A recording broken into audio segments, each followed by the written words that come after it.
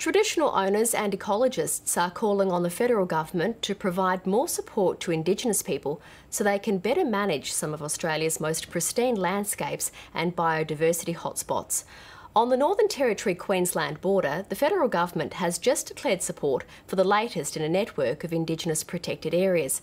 But the Commonwealth is funding just five Indigenous rangers to protect this 11,000 square kilometre wilderness from wildfires, ferals, and weeds. Jane Bardon reports from the Wanyi Garawa Indigenous Protected Area in the Gulf of Carpentaria. It's the culmination of a 10 year struggle and the start of a new one. Deep in the Gulf of Carpentaria, the Wanyi and Garawa people have struck an agreement with the federal government, declaring 11,000 square kilometres of their land as the Ganalanga Mindibirrina Indigenous Protected Area. People are coming back into the land, and today is a very special day. The government has agreed to help the clans return here from towns.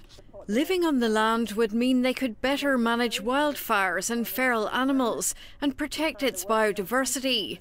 Sean Cairns helped broker the deal. Because it's just so important to remember that the firework has been done on behalf of all Australians in terms of reducing greenhouse gas emissions. The population here has dwindled as schools and government employment programs have been steadily withdrawn. Iris Hogan is one of the few who stayed the land itself is, is our medicine to our people, to us old people. The land itself just inspires us. She hopes the government will help more families return. We're really hoping to get some more funding so we can have fencing, putting and have our cattle and vegetable garden, whatever, to live out here. Without a community to hunt on this land and burn off, feral pigs, cattle and horses moved in. Biodiversity decreased, and feral animals damaged sacred sites, including waterholes. Traditional owners established a five man ranger programme to manage the land, but say it's not big enough. We got our fire rangers as a guy, but we want more ladies to join in the fire ranger so they can protect our sacred site, woman's site. They want more government support, providing jobs to draw their young people back to their country. We lost nearly half of our generation on petrol sniffing, half of our generation on drunkenness, half of our generation is killed, murdered because of drunks. We want to bring them home now where they got their right mind and living culturally and respecting culture and elders. The area includes spectacular rock formations, including the China Wall.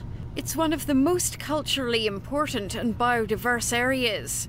Ten years ago, fire razed huge tracts of the land and neighbouring cattle stations. The Rangers Fire Control Programme has helped reduce the threat. We got more food coming back to our land. We even got goannas back here in our country.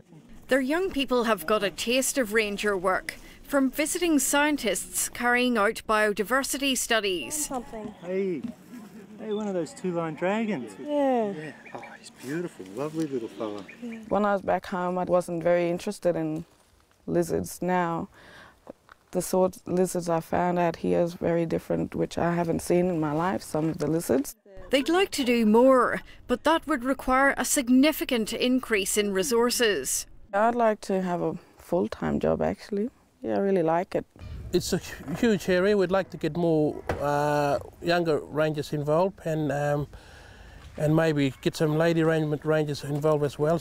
Many more surveys are needed. There's a range of species that are threatened that could be here, including Carpentaria grass wrens, Car Carpentaria rock rats.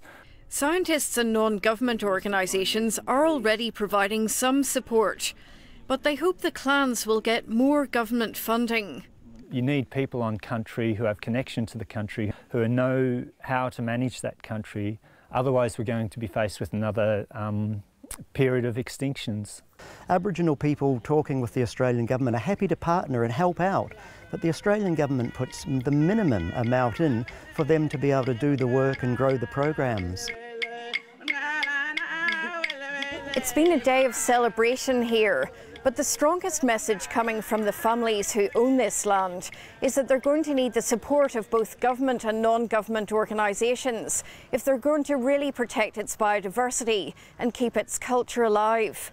Jane Bardon, ABC News.